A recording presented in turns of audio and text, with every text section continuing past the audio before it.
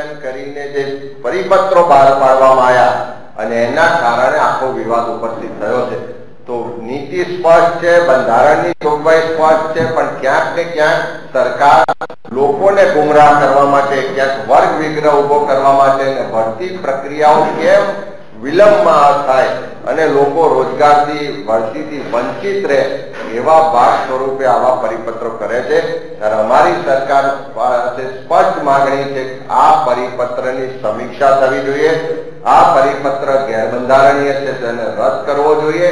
અને આ પરિપત્રના માધ્યમથી એસસી એસટી ઓબીસી વર્ગના મહિલા અને બાકીના ઉમેદવારોને જે અન્યાય થઈ રહ્યો છે, એ રોકવો જોઈએ, ન્યાય મળવો જોઈએ. અને સાથે સાથે બિન અનામત વર્ગમાં પણ જે રીતે અત્યારે અજંપાની સ્થિતિ છે, એને પણ સાંભળીને એનું પણ નિરાકરણ કરવું જોઈએ.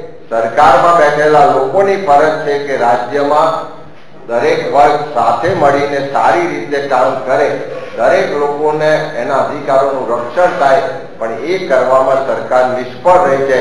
ત્યારે આ એલઆરટીના આંદોલનને આજે લગભગ છાસઠ દિવસ થયા. તેમ છતાં સરકાર એ બાબતે સંવેદનશીલ નથી. ફક્ત ને ફક્ત રાજનીતિ કરી રહી છે અને ગુજરાતમાં વર્ગ વિગ્રહ ઊભો થાય. એવો પ્રયત્ન સરકારમાં બેઠેલા લોકો દ્વારા કરવામાં આવી રહ્યો છે.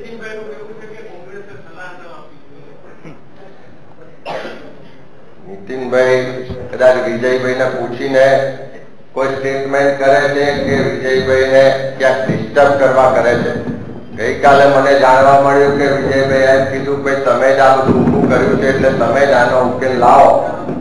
પણ ખાસ કરીને કોઈની સલાહ સાંભળો કે ના સાંભળો કોઈની વાત માનો કે ના માનો, તમારા જ પક્ષના લોકોને તમે ખોટા કહેવો, પણ જે ગુજરાતના એસસી એસટી ઓબીસી વર્ગના લોકો આજે તમારી પાસે ન્યાયની અપેક્ષા રાખીને બેઠા છે કે દેશના બંધારણે અમને જે સંવિધાનિક અધિકારો આપ્યા છે, જે અનામતની જોગવાઈઓ છે, જે ભરતી માટેના નિયમો છે, એનું ઉલ્લંઘન તમારી સરકાર શું કામ કરી રહી છે શું કામ આટલા છાસઠ દિવસના આંદોલન પછી પણ સરકાર એનો નિરાકરણ નથી લાવી રહી?